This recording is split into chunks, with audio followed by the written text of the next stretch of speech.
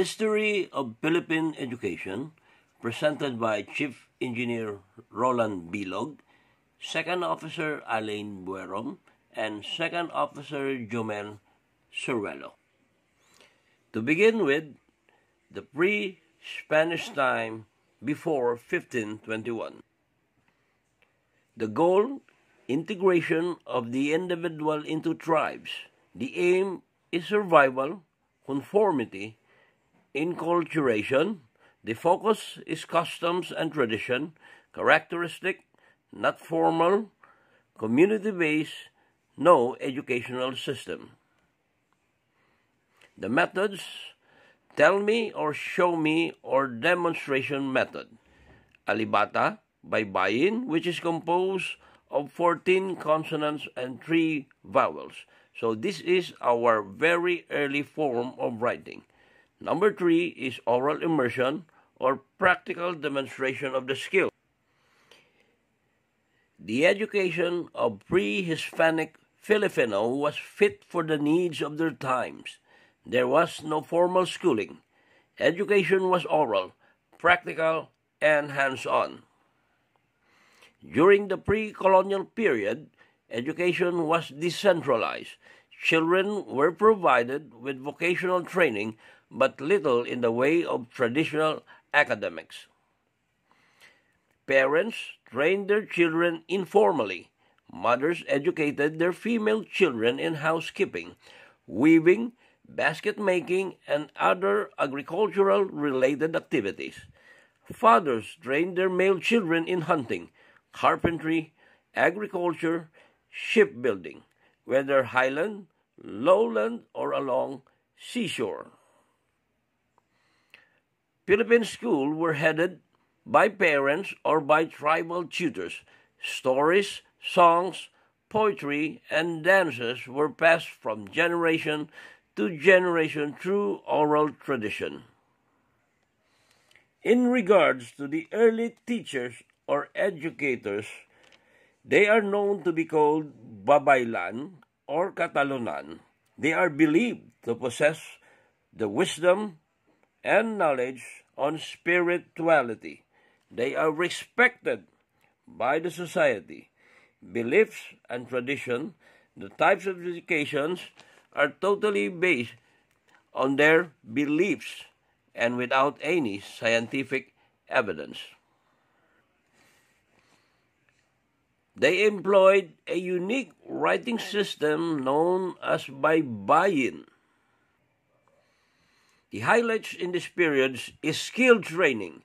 Our curriculum is already a combination of theory and practice. In the maritime school, we have that cadetships that is placed in the third year of the curriculum. Example, after learning in the theory in the classroom, student will aboard in the ships. There they can apply the program of the institution guided by the assigned officer using the checklist handbook when performing the assigned scheduled tasks in different types of machines like generators, engine, boilers, oil purifiers, and other types of machineries. And next, the Philippine history of education during the Spanish period.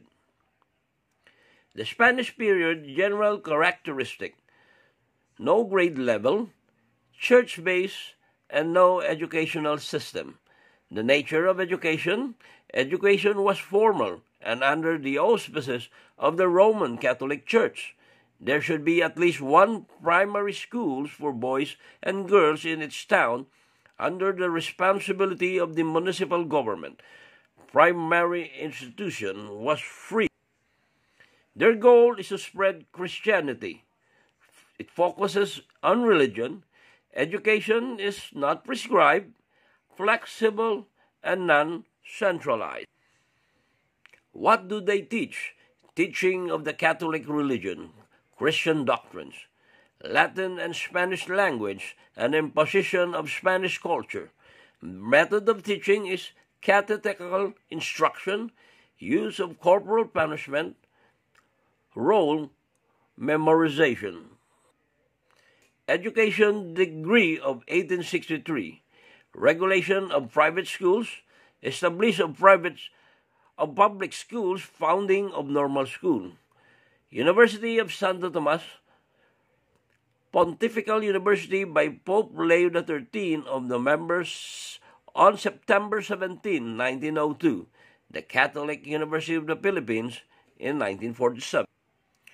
The friars controlled the educational system. The missionary took charge in teaching, controlling and maintaining the rules and regulation. Parochial school were led by Dominicans and Jesuits. Establishment of normal school for male teachers under the supervision of the Jesuits. When the Spanish first arrived in Manila, they were surprised to find a population with a literacy rate higher than that of Madrid. During early Spanish period, most education was conducted by religious orders. Friars, recognizing the value of literate indigenous population, built printing presses to produce material in Baybayin. Missionaries studied the local languages and the Baybayin writing system to better communicate with the local population and teach Christianity. The church and the school cooperated to ensure that Christian village had school for students to attend. Spanish missionaries established schools immediately after reaching the island. The Augustinian opened a school in Cebu in 1565.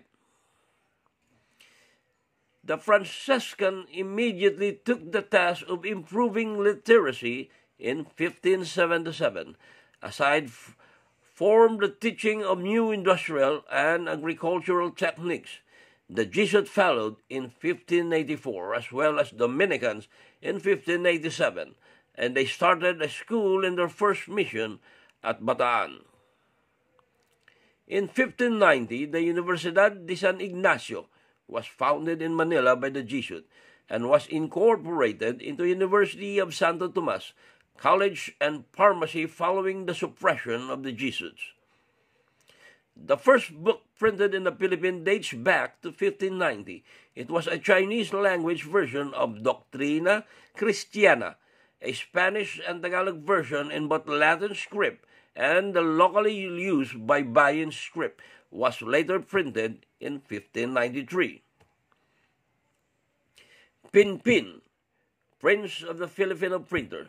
In 1610, Tomas Pinpin, a Filipino printer, writer, publisher who is sometimes referred as the patriarch of the Filipino printing, wrote his famous librong pag-aaralan ng mga Tagalog ng wikang Kastila, which was meant to help Filipino learn the Spanish language, the prologue read. Let us therefore study, my countrymen, for although the art of learning is somewhat difficult, yet if we are persevering, we shall soon improve our knowledge. Other Tagalog like us did not take a year to learn the Spanish language when using my book. This good result has given me satisfaction and encouraged me to print my work so that all may derive some profit from it. In 1640, the University of the San Felipe de Austria was established in Manila. It was the first republic university in the Philippines. By the end of the 16th century, several religious orders had established charity hospital all over the archipelago and provided the bulk of the public services. This hospital also became setting for rudimentary scientific research work on pharmacy and medicine. The Jesuit also founded Colegio de San Jose, 1601, and took over the management in which later became Escuela Municipal in 1859. Escuela Municipal was later renamed to Ateneo Municipal de Manila in 1865 and is known today as Ateneo de Manila University. The Dominican founded the Colegio de San Juan de Letran in 1620 in Manila.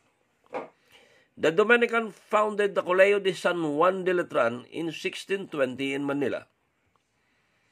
In 1863, an educational degree mandated on the establishment of the three primary school in each town, one for the boys and one for the girls, with a precise number of schools depending on the size of the population. There were three grades, entrada, ascenso, termino. The curriculum required the study of Christian doctrines, values, and history, as well as reading and writing in Spanish, mathematics, agriculture, etiquette, singing, word geography, and Spanish history. Girls were also taught sewing. The degree also provided for a normal school run by the Jesuits to educate teachers in Manila. Normal school for women teachers were not established until 1857 in Nueva Cáceres. Despite of the degree of 1863, basic education in the Philippines remained inadequate for the rest of the Spanish period. Often there were not enough schools built. Teachers tended to use corporal punishment.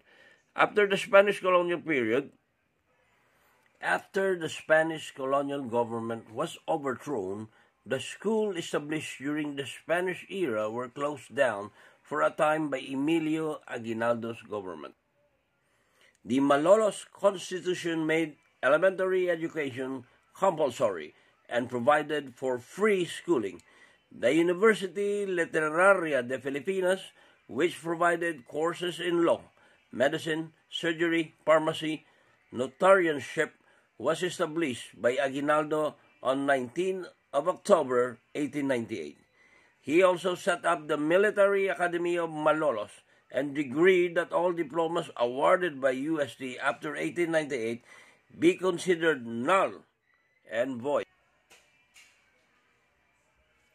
The curricula of school were not much different from those under Spanish domination, while Tagalog was established as a national language by the Constitution of Biak na Bato. Reading, writing, and literacy studies in Spanish were still given emphasis. In every institution, prayers will always be practiced. It's already our norms and tradition, be it in a simple way like prayer before and after class. In a Catholic and old school, particularly in UST, religion is stretched out. It is validated in their curriculum by having a subject of theology. Memorization is still part of education. It is a technique of learning. It will always be a part of education, specifically in theoretical subject. Corporal punishment is also present in a military school. It is already their tradition, be it legal or illegal. The Japanese occupation. During the Japanese occupation, their goal was to spread of the new Asian order, principle of new order, courses of study, prescribed, uniform, and centralized.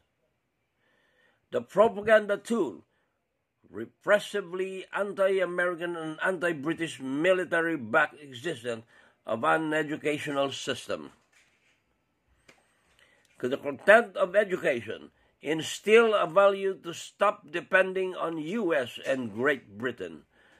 Vocational education, technical and agricultural, love for labor or work, adopt the Nippongo language as a medium of instruction, Tagalog, Philippine history and character education, method of teaching, rote memorization, use of threat and punishment. Legal basis, Military Order Number 2 in 1942, establishment of the Commission of Education, Health, and Public Welfare, established of the Ministry of Education, October 14, 1943, Department of Public Instruction, February 27, 1945, Republic 1945 to 1972, promote democratic ideals and way of life, apply equal education opportunity for all, civil service eligibility of teachers. Republic Act 1265, daily flag ceremony and singing of the national anthem. Executive Order Number 94, Department of Instruction to Department of Education, Bureau of Public and Private School. Batas Pambansa bilang 232 voluntary accreditation for school, colleges, or university, the obligation and qualification of teachers and administrators, government financial assistance to private schools. Curriculum Tagalog, Philippine history, and character education were the focus. Love for work and dignity for labor was emphasized. There was the spread of elementary and vocational education. Nippongo was used, and the Japanese tried to stop the Filipino people from using the English language. Six basic principles of the Japanese education realization of a new order and promote friendly relations between Japan and the Philippines to the farthest extent, foster a new Filipino culture base, endeavor to elevate morals of the people, giving up overemphasis to materialism, the fusion of the Japanese language in the Philippines, promotion of vocational education to inspire people with a spirit to love neighbor. Education system during Japanese period with regards to the four pillars of education. Learning to know, mastering learning tools rather than the acquisition of structured knowledge.